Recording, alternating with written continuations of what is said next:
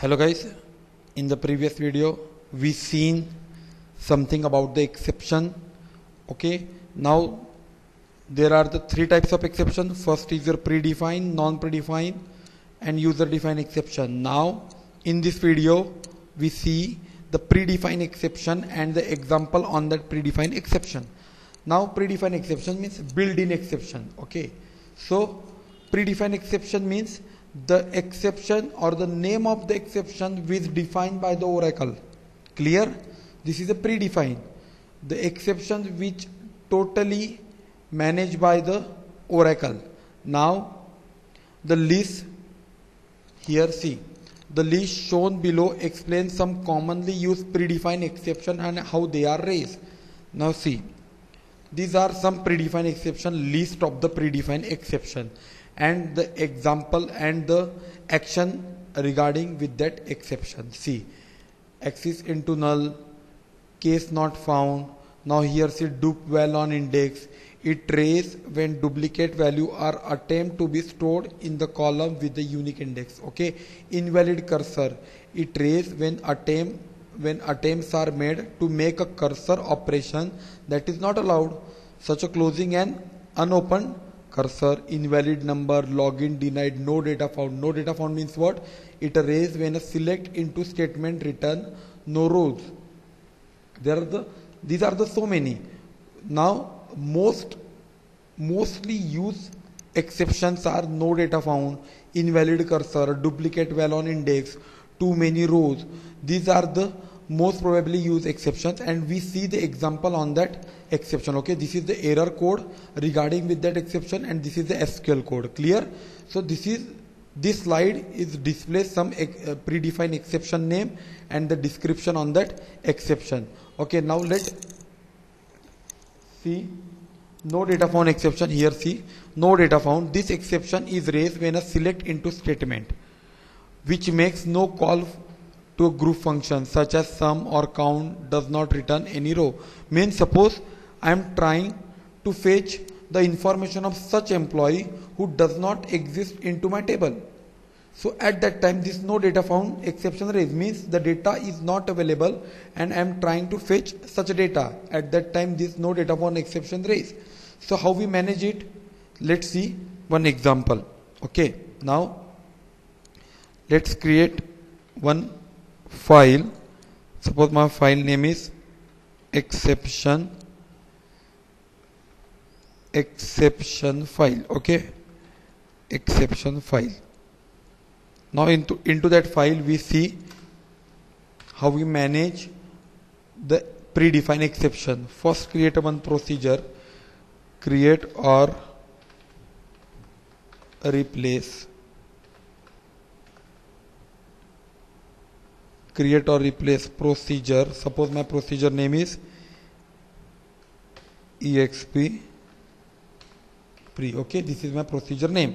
And suppose I am pass one parameter to that procedure. Suppose id number okay? This is my parameter. Now then exact declaration part starts okay? Suppose I am declare one variable l underscore name and the data type of that variable is varchar2 20 clear? So this is the declaration of variable. Now my executable section starts.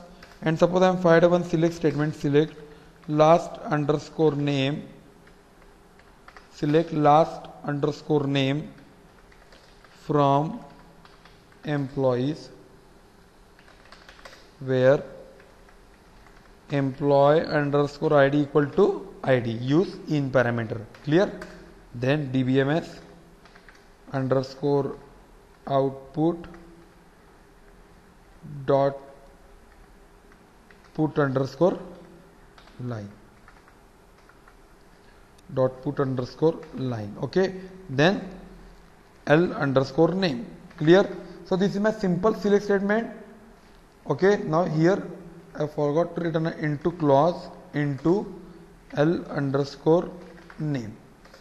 Now when we find this at that time employee ID equal to ID the ID which the value of the ID is passed at a time of execution and that ID's last name is stored into the L underscore name and this L underscore name is simply display on my screen okay then slash show error set server output on clear now see first compile. Compilation means what? Exact syntax checking. Okay? First compile. Then procedure created.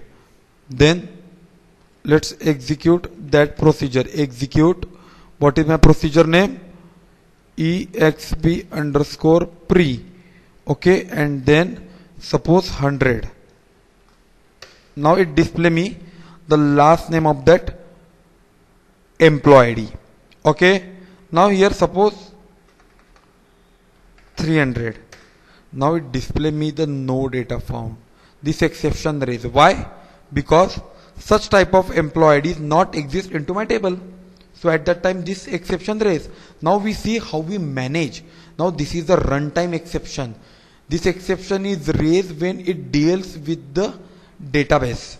Okay now that it deal with the value fetch fetch from your select statement and trying to store into the variable. So such error is a runtime error. Now we see how we manage that runtime error. So such type of error is managed with the help of exception block. Okay now where we write the exception block between your begin and end. Now suppose the exception now see exception block is always start with your exception keyword. Okay. Now see when no data found this error message is display on your screen then what is your error name? When see in this slide now see no data found. Okay it trace when a select into statement returns no rows. Okay so here we manage no data found. Okay so when no data found then suppose what is my action? My action is dbms underscore output dot put underscore line and into bracket. Suppose my action is no such employee id into my table. Please enter valid id clear? So when no data found exception raised so what is my action? Please display that message. So with the help of exception block we avoid the abnormal termination of my program. Clear? Now see. Here this is the abnormal termination of my sorry this is the abnormal termination of my program. Now again compile it.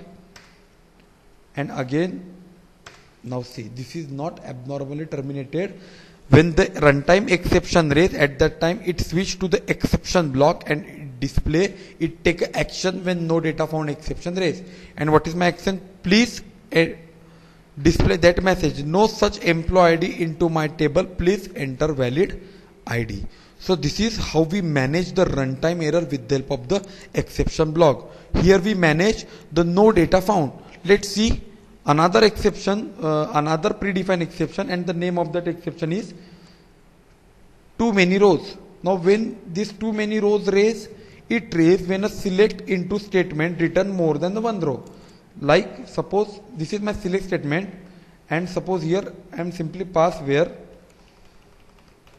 where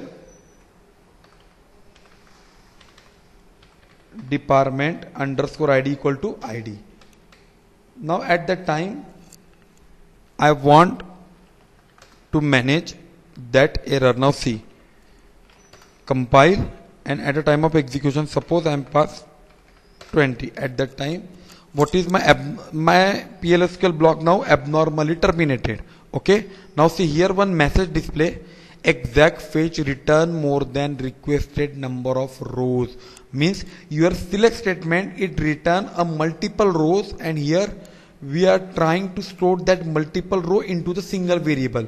And this is not allowed. Okay? So at that time this error raise now how we manage it? For that there is a one. What is my exception name? When? What is my exception name?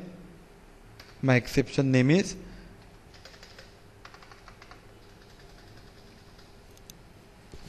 when when too many rows when too many rows okay? When too many rows then then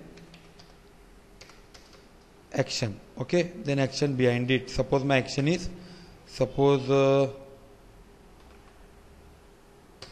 suppose my action I want to display another one message suppose my message is please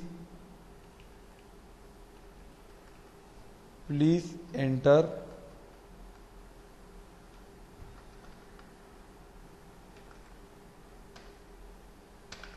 single id okay now again compile and again execute at that time. Again it avoid abnormal termination.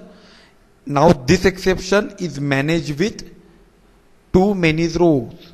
Okay now at that time they display the message please enter single id now see here into the exception block we write two exception. But see this is so important.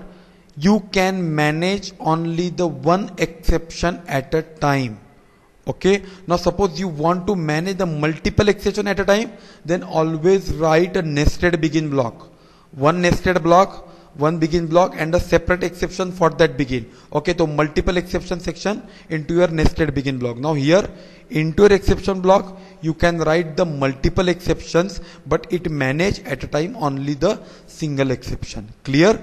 So this is, these are the two exception which we manage into our procedure. Okay runtime exception is managed into your exception section. Clear? Okay.